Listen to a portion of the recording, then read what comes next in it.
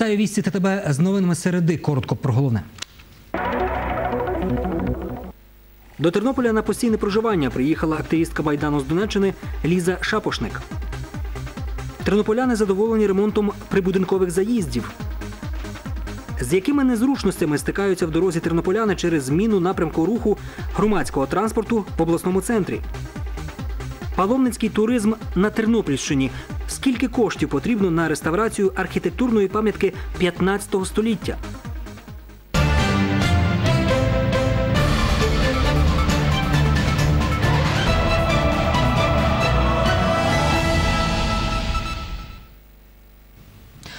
Розслідувати причини пошкодження газогону у Полтавській області та повернути в бюджет вкрадені Януковичем та його командою мільярд доларів. Таке доручення дав прем'єр-міністр Арсеній Яценюк своїм підлеглим під час засідання Кабміну. Фінансова розвідка з'ясувала, 42 компанії наповнювали кишені президента втікача та його оточення.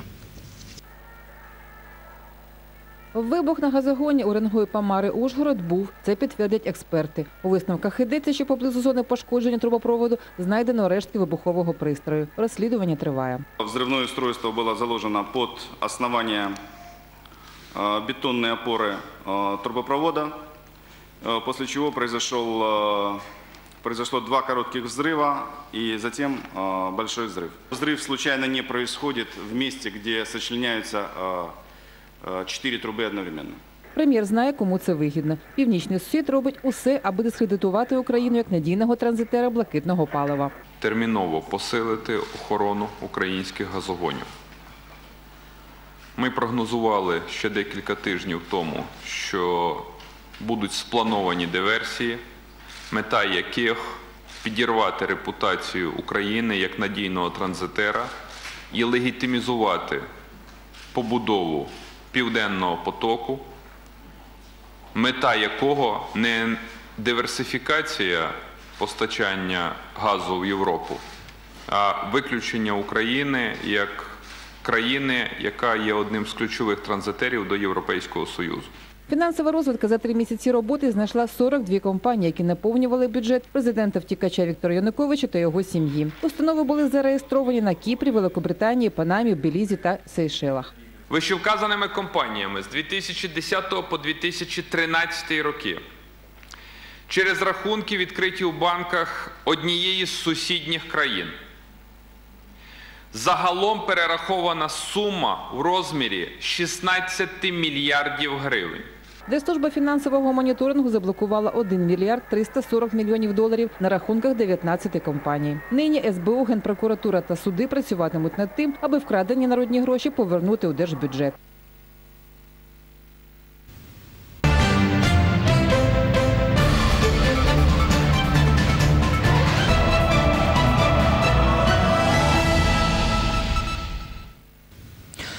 Голова обласної державної адміністрації Олег Сиротюк із робочою поїздкою побував на Тернопільському молокозаводі.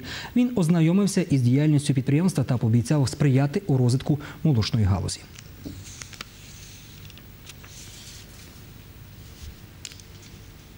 Власне, зараз те, що необхідно нашій області, щоб кожне підприємство, яке тут працює, мало можливість розширятися, мало можливість е- випускати хорошу якісну продукцію, якою будуть задоволені кінцеві споживачі як області, так і за межами. Підприємства, які будуть сплачувати податки, які будуть збільшувати відрахування місцеві бюджети, державний бюджет, які будуть платити гідну заробітну плату. Це те, що буде давати можливість відроджуватися краю і, скажімо, дивитися впевнену перспективу. Активістка Київського Євромайдану Різа Шапошник, родом із Донецької області, на постійне місце проживання приїхала у Тернопіль. Чому обрала саме це місто? Чи забезпечена умовами проживання і чим тут займатиметься? Цікавилися наші журналісти. Участь Лізи Шапошник у подіях столичного майдану напевно розчулила всю країну. Свідому позицію цієї українки під час акції протесту активно обговорювали на інтернет-сайтах. Про її роботу йшлося у численних засобах масової інформації. Лізу навіть називали символом і улюбленицею майдану. Цими днями вона переїхала жити до Тернополя. Каже, назавжди. Бо на її рідній землі Донеччині сьогодні нормальне життя неможливе. У Тернополі вперше обрала це місто, бо чула про нього багато хорошого. Ідея була така, думала, куди ж поїду я. Вспомнила тут песню «Файне місто Тернопіль». Думаю, поеду-ка я в Тернопіль, подивлюся.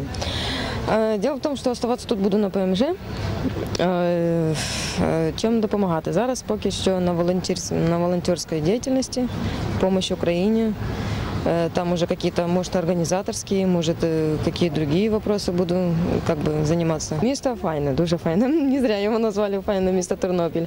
Люди тут е, дуже добре зустріли.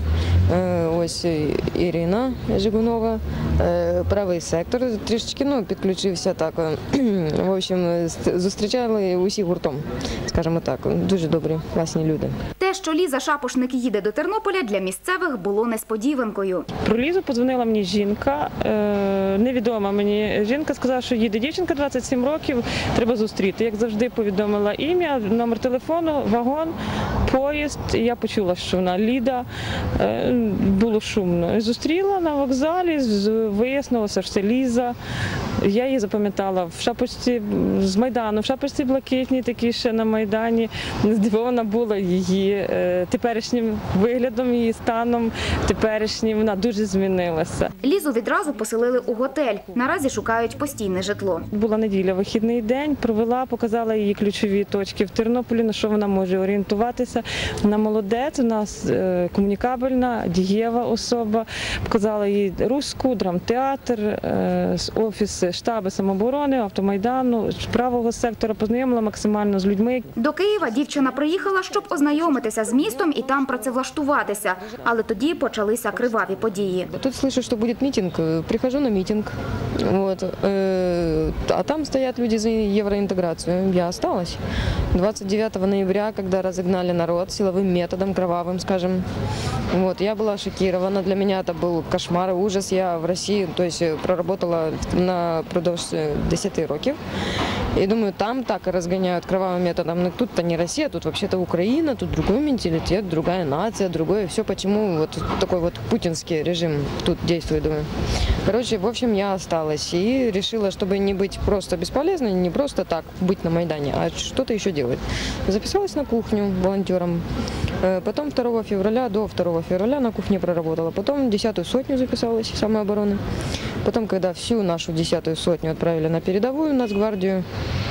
меня по состоянию здоровья не взяли. Я записалась в правый сектор. Вот, и сейчас вот нахожусь в правом секторе, сюда приехала. У Тернополі теж допомагатиме тим, хто захищає Україну. Активістка розповідає, для неї головне не повернутися на батьківщину, а щоби там нарешті був спокій і мир. Не то чтобы хотела бы совсем на Батькивщину туда. Но Украина, она одна. И единственное, что больше всего я хочу, чтобы москали вышли из Украины. Вот этого я очень хочу. Ліза Шапошник закликає громадян не бути байдужими до ситуації в державі. Чоловіків записуватися у батальйони або у правий сектор і їхати на схід. А так звану диванну сотню допомагати в організаційних та інших питаннях. Якщо сьогодні не відстоїмо сходу, каже Ліза, завтра вороги прийдуть на захід. Ями та вибоїни одвічна проблема нашого міста. Тернопляни багато років скаржилися на жахливий стан прибудинкових заїздів. Цього року їх нарешті почули, дороги почали ремонтувати. І вперше Заїзд до будинку по вулиці Тарнавського, 12 вже десятки років потребував капітального ремонту. Голова будинкового комітету Олександра Васильівна каже, дім збудований у 1977 році. З того часу до дороги ніхто не брався. Вона була у жахливому стані, тож щоб привести до ладу, довелося не один рік писати звернення, стукати у всі двері. Я ще від 2000 року е, добивалася, всюди зверталася ще попереднього мера, і все кошти не було, все кошти. Ну але зараз я, я дуже рада, е, що е, Сергій Віталійович Надал зрозумів. От, бо е, я так ще е, хочу вам сказати, Сергій Віталійович теж з того року, що будинок. І напевно, що він дійсності з розумінням поставився, що такі будинки вже теж треба трошки їх лікувати. Спільними зусиллями мешканці прилеглих до дороги будинків таки достукалися до міської влади і дочекалися на ремонт дороги. Пригадують, дорога тут завжди була у поганому стані. Більше двох тижнів тривав ремонт, та мешканців незручності не турбували. Головне, дорога до їх двору тепер якісна, а сусіди щасливі. Ми щиро вдячні всім, хто приймав участь, і пану Надалу, і нашому директору Коменерго, і людям, які працювали, і люди, і ви також в тому числі щиро вдячні всім. Дуже добре зробили, я дуже вдячний нашому голові, який поспонсорував і нашим працівникам, які тут вложили свій труд. Гарно зробили, чесно, і хочу подякувати нашій управдомі Лесі Василівні, яка добивалась, ходила. Я вірю в те, що інші будинки е, будуть приведені в належний стан, інша територія, для того, щоб наші мешканці, тернополяни відчували е, радість життя в нашому місті. Спільні зусилля, спрямовані на поліпшення благоустрою території, зміцнили відносини між представниками влади і сусідами, тож зараз починають роботу над фасадною частиною будинку. Однак проблемних ділянок у цьому мікрорайоні, як і в інших районах нашого міста, є ще багато. Цьогоріч також заплановані роботи за адресою Чолдаєва, 12, розповідає директор ЖЕКу. Попередні роки акценти робилися на центральну частину міста, от, а зараз е, е, значну частину було приділено е, завдяки програмі е, міської ради, е, такі як Злуки 41, Злуки 43, е, екопарковки Тернавського 12, Броварна 23 і багато інших. І це дуже приємно. І це направду мешканці це оцінили, дуже позитивні емоції. Тому тут, коли закінчувалися, люди всі були просто щасливі від цього. Цьогоріч міська рада виділила кошти на капітальний ремонт доріг та кількох прибудинкових заїздів. Ми застали також роботи за адресою Злуки. І хоча нині тут гамірно, людей цей галас навіть тішить. Ви бачили, яка дорога була. Не ні перейти, ні е, переїхати, там постійно болото було. А зараз зробили е, дорогу, то на- нам е, і зручніше, по-перше, і людям добре, так само. Дітям, воно можна навіть і с- е, е, дивіться, там діти на роверах навіть катаються вже. І це, по-перше, далеко від е, проїжджої частини. Це дуже добре, що почали на кінець нам якісь робити, як той казав, состояння, благосостояння.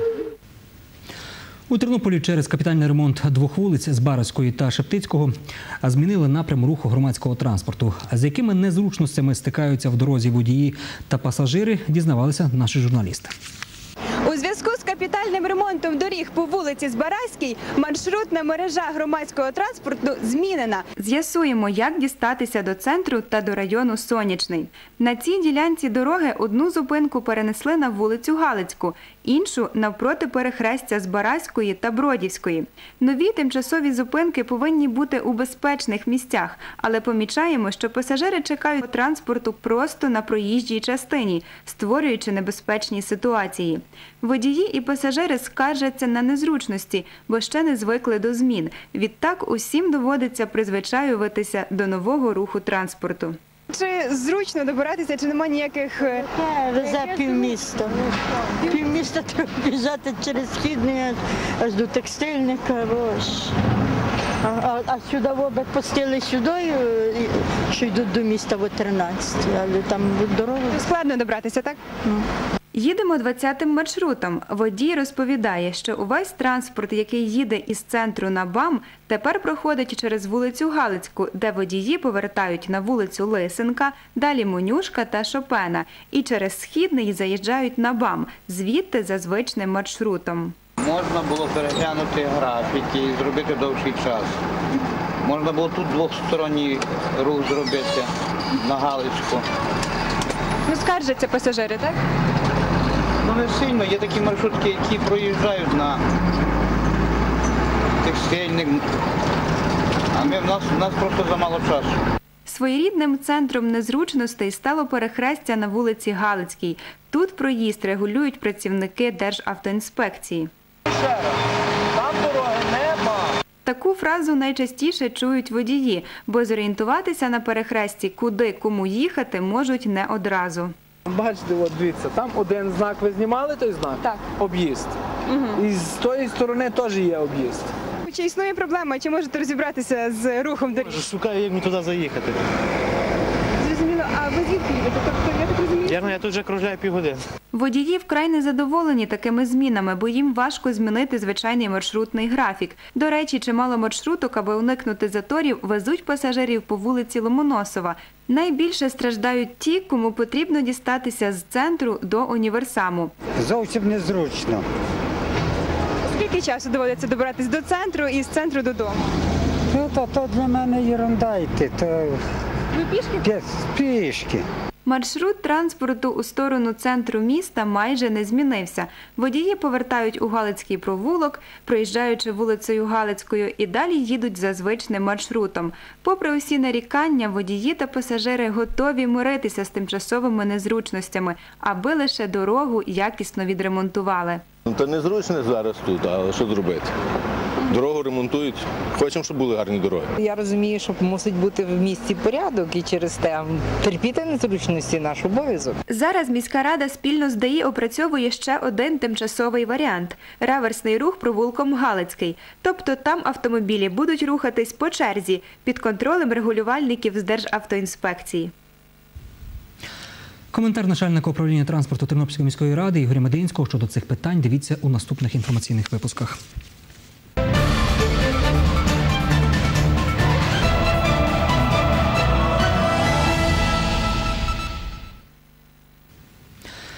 У Тернополі продовжують впроваджувати профільне навчання у школах. І з 1 вересня ще три навчальних заклади, а саме школа номер 4, 21 і 24, будуть працювати у новому освітянському форматі. Про особливості е, профільного навчання, проблеми та перспективи йшлося на семінарі директорів у Галицькому коледжі імені В'ячеслава Чорновола. Технічний, економічний, медичний ліцей або, відповідно, 9, 12 та 15 школи Тернополя, які вже освоїли профільне навчання. На черзі ще кілька навчальних закладів, які практикують спеціалізацію. Однак від планів до їх втілень не один рік. Власне, аби реалізувати проект, потрібна сучасна матеріальна база, кадровий потенціал, підбір учнів тощо. Забезпечити увесь спектр потреб самостійно школи не в змозі. Відтак співпрацюють із іншими навчальними закладами. У нас в Тернополі є тісна співпраця певних е, загальноосвітніх закладів з вищими навчальними закладами. Давно вже в нас е, організований технічний ліцей, який має тісні напрацювання і умови договору про співпрацю з технічним університетом. І хочу сказати, що тут є конкретні результати. Діти е, мають по 200 балів зовнішнього незалежного оцінювання. Минув рік, відколи медичний ліцей вів додаткові заняття з хімії, біології, латини, результати очевидні. Ділиться враженнями директор Тетяна Солтис. Ну, Найперше, що ми помітили, що діти навколо вибраної базової базового набору предметів е, набагато стали глибше розуміти е, такі предмети, як е, хімія, біологія. Е, В них запроваджений новий курс латини. Вони трошечки вже вміють навіть говорити і розуміти ті терміни, які використовуються латинською мовою. Перших випускників цього року з поглибленим вивченням правознавства має колектив 24-ї школи, хоча офіційно цей навчальний заклад ще не є спеціалізованим. Однак педагоги спробували проекспериментувати, сподівання їх виправдалися і вже з нового навчального року працюватимуть у новому форматі як школа юридичного профілю. Працює вся школа, е, і педагоги, і психологічна служба, ну і звичайно, що батьки. Тобто проводимо анкетування і серед батьків, і серед учнів. Ну і так само класні керівники і вчителі вже відповідно працюючи з дітьми, дають певні, певні свої рекомендації. У загальноосвітній школі номер 2 також пріоритетним є правознавство. Враховуючи бажання учнівського колективу, там уже діє шкільний зал засідань. Це така навчальна лабораторія, де діти, переодягавшись, переодягнувшись в ролі суддів, прокурорів, значить, всіх тих ролей, які складають сьогодні судове засідання, е, провадять, е, вони вирішують проблеми, е, які їх хвилюють. Наприклад, проблеми подолання злочинності, проблеми подолання лінії, байдужості, комп'ютера, як він заполонює наше життя. Загальна структура профільної школи це додаткове вивчення тієї чи іншої науки. Однак з поглибленим навчанням залишаються і звичайні класи. Тож батьки зможуть обирати, у якому класі навчатиметься дитина. Самі ж педагоги збиратимуться частіше, аби поділитися досвідом. У нас семінар буде складатися з трьох частин. Це поки що такий перший інформаційно-аналітичний, для того, щоб побачити, що які напрацювання ми маємо, для того, щоб поспілкуватися з директорами, почути їхні бачення пропозиції, для того, щоб виробити якісь нові свої пропозиції, своє нове бачення вже щодо цієї нової концепції профільного навчання. І після того, вже починаючи з вересня місяця, інтенсивно впроваджувати. В вересні місяці у нас запланований десь в кінці вересня другий великий семінар, де ми вже е, запросимо е, академію педнаук нашу інститут інноваційних е, технологій. Тернопільщина край паломницького туризму. Для православних святиною є Почаївська лавра. Греко-католики йдуть до Зерваниці. Римо-католики шанували Язловецький монастир, відомий чудесними зціленнями. Чим визначна пам'ятка і як її відновити, дізнавалася Валентина Павлишин. Цей шляхетний палац належав Станіславу Понятковському, батькові останнього короля Польщі Станіслава Августа. Про це свідчить девіз родини Добра слава є друга спадщина та герб із символом Білого Орла. У Польщі і досі хрест Білого Орла, заснований останнім королем, найвища нагорода за мужність. Пам'ятку архітектури національного значення добре видно з найвищої точки Язлівецького замку. Відреставровані лише центральна і ліва частина будови. У 2006 році, після пожежі, її власноруч відбудували три сестри монастиря непорочного зачаття Пресвятої Діви Марії. Потім запросили реставрувальників. У правій частині будови з 1946 року діє протитуберкульозний санаторій. Щоб е, виконати повноцінні реставраційні роботи, відповідно, тут е, потрібні досить великі капіталовкладення, е, на що медицина зараз просто не має можливості виділити ці кошти. І е, оця відсутність е, грошей і е, використання зараз санаторієм просто дуже негативно відбувається на самому стані пам'ятки і саме на її збереженості. Найбільш доцільний вихід це все-таки повернення тої частини будівлі колишнім власникам, саме монастирю жіночому. Який є надія, що забезпечить таке ж саме е, проведення ремонтних робіт У кінці 18 століття в палаці діяли монастир непорочного зачаття Пресвятої Діви Марії і школа. Нині монастир у найкращих традиціях проводить реколекції для юних християн. Тут можуть зупинитися туристи, які хочуть оглянути палац і замок. За рік монастир може прийняти 11 тисяч паломників. Навколо святині завжди гуртувалися представники різних конфесій. Участь у відправах брав блаженніший кардинал Любомир Гузар. Повернути святині добру славу влада планує усім миром. нескладними, правильними фінансовими вливаннями як з боку держави Тернопільської області, так і з залученням інвестицій ззовні. Насамперед тут є інтерес е, Республіки Польща. Вже проведені е, попередні перемовини з генеральним консулом е, Республіки Польща в Луцьку. Попередній був інтерес і польської сторони в відновленні дороги до Язлівця від Бучича. І подальша реконструкція е, будівлі монастиря, власне, вже тої частини, де сьогодні розміщений санаторій. Кажуть, найбільша проблема під час реорганізації санаторію не у розміщенні відпочивальників, а у працевлаштуванні персоналу. Медиків вдвічі більше, ніж тих, хто оздоровлюється. До слова, звільнених під час минулої реорганізації офіційно працевлаштували при монастирі.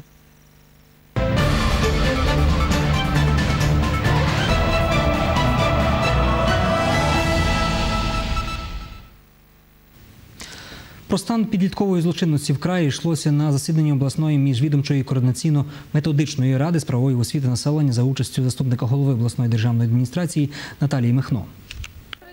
На щастя, зростання дитячої злочинності у краї немає. У порівнянні з відповідним періодом минулого року правоохоронні органи зафіксували на 37% менше фактів правопорушень за участю неповнолітніх.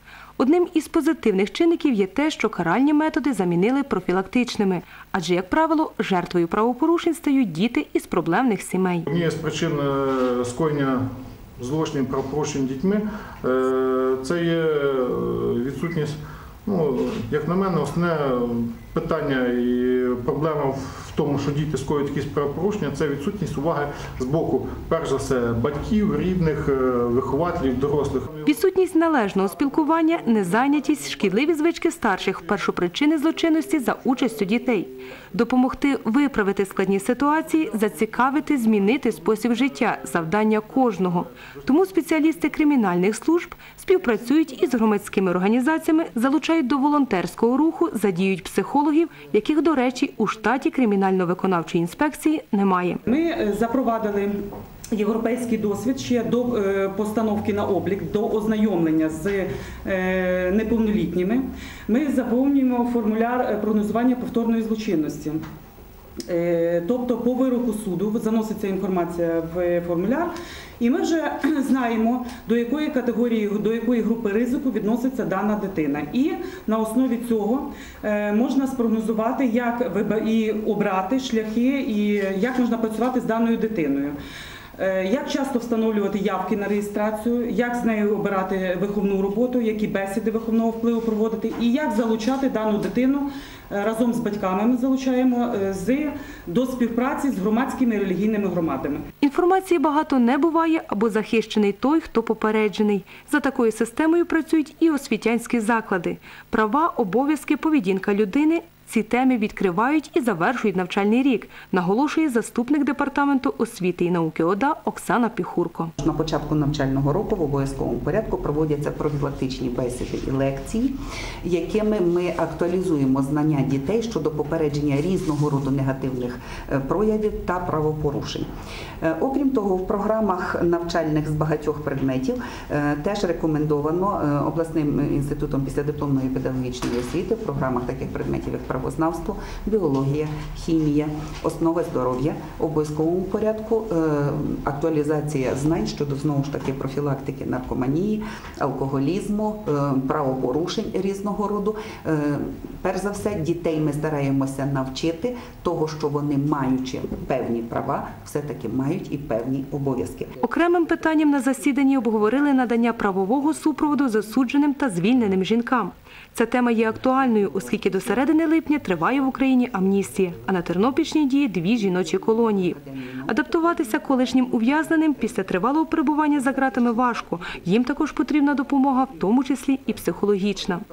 Ймовірно, буде відновлено консультаційний пункт для звільнених. Сьогодні в автогосподарстві обласного управління внутрішніх справ відбувся сезонний технічний огляд службового автотранспорту. Відеоматеріал сектору зв'язків з громадськістю УМВС України в Тернопільській області. На огляд були представлені всі транспортні засоби, які використовують для роботи тернопільські міліціонери. Варто відзначити, що автопарк тернопільської міліції планомірно оновлюється. Минулоріч нові сучасні автомобілі Toyota Prius з гібридними силовими установками отримали підрозділ міліції громадської безпеки. Наразі в автопарку тернопільського гарнізону налічується понад 100 одиниць службового транспорту. На сьогоднішній день, після події лютого цього року, 18 службових автомобілів пошкоджено. Практично всі вони не підлягають за рідким виключенням встановленню. Буквально минулого тижня ми отримали е, від міністерства 7 нових автомобілів Toyota Prius. Всі вони закріплені за підрозділом патрульної служби міліції. Технічну справність службового транспорту перевірила спеціально створена комісія на чолі з заступником начальника обласної міліції Олегом Ляховичем. Основна увага зверталася на зовнішній вигляд автомобілів, їх технічний стан, справність освітлювальних приладів та спеціального обладнання. З метою попередження аварійності на автошляхах іспити на знання правил дорожнього руху проходили працівники міліції, за котрими закріплені службові автомобілі. Адже без теоретичних знань, як і без практичних навичок, керувати транспортом неможливо. В автогосподарстві дбають не тільки про те, аби транспорт був справний, а й про те, щоб водії були професійні та здорові. Тому щоразу працівникам міліції, котрі сідають за кермо, доводиться проходити огляд у лікаря. Без проходження медичного огляду виїжджати заборонено. Хочеться відмітити, що в цілому водії закріплені за службовим автотранспортом добросовісно віднеслись до підготовки машин. Машини в технічно справленому стані, готові до виконання будь-яких завдань, які будуть стояти перед підрозділами міліції. На цьому я з вами прощаюся. Миру і єдності нам.